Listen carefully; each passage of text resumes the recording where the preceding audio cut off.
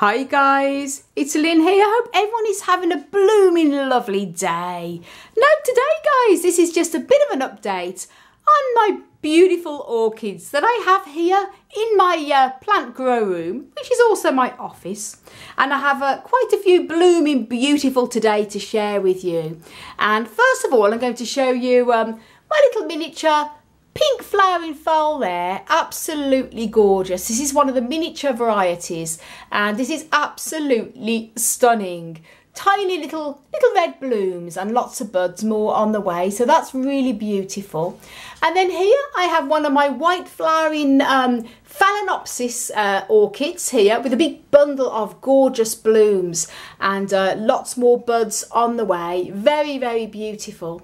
And as you can see there, lovely yellow inside and the lovely sort of deep red as well in the middle. Absolutely gorgeous.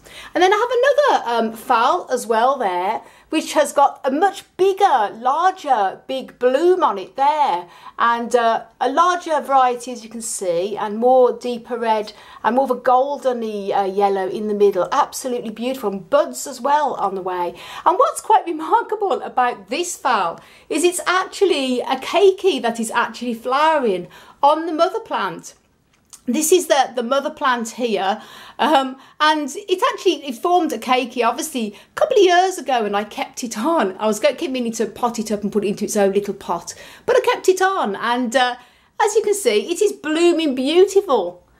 Absolutely remarkable there. And then I have here one of my Dendrobium gorgeous in blooming beauty. Absolutely lovely bunches and bunches and bunches of blooms.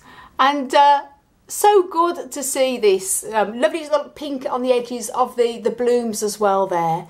Very, very beautiful. I've had this um, Dendrobium nobile now for a couple of years and it's bloomed twice. Uh, it was blooming when we bought it. Bloomed last year and blooming beautiful again this year. So wonderful to see. Sorry I can't get any closer. I can't reach because of the table. but hopefully you'll get to see its beauty there. Another Dendrobium nobile is also um, coming into bud too, as you can see there. This is my other one, which is a, a pink flowering variety. So good to see there's buds on this one also. Very, very exciting. And the, the orchids that we have, we have five different types of orchids here. Um, obviously the Phalaenopsis, the Dendrobiums, and also we have um, Epidendrum as well, Zygopetalum and Miltonia.